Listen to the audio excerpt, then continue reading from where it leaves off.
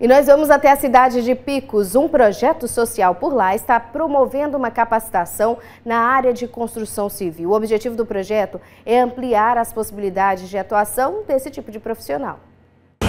Profissionais da engenharia civil do estado de São Paulo desenvolveram um projeto para capacitar pessoas que desejam adquirir conhecimentos na área de forma gratuita.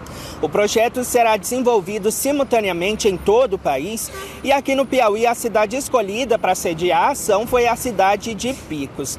O projeto é voltado para homens e mulheres a partir dos 16 anos de idade de toda a macro-região com qualquer nível de escolaridade. E além do desenvolvimento do curso teórico, os alunos passarão também por uma formação prática com viés social, pois eles irão participar de obras voluntárias, especialmente em locais mais carentes. Então, além dos estudantes que irão adquirir conhecimento participando, a sociedade também será beneficiada, pois terá aí a oportunidade de receber uma ajudinha totalmente gratuita em alguma obra que seja benéfica para a comunidade.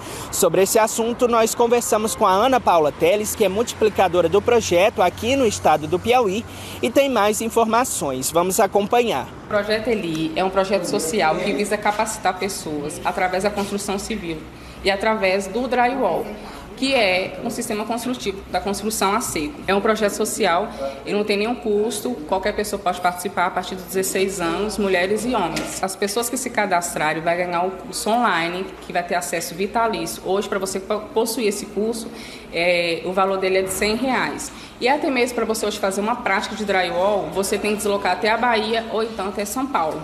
Então, querendo ou não, é uma oportunidade incrível de fazer o treinamento de drywall.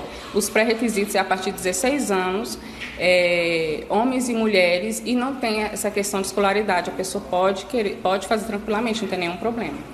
Então fica esse convite para a sociedade e para se inscrever basta entrar em contato com a organização do projeto através do telefone DDD 89 994 38 23 50. Por enquanto essas são as informações de Picos Danilo Eliezer para a TV Antena 10.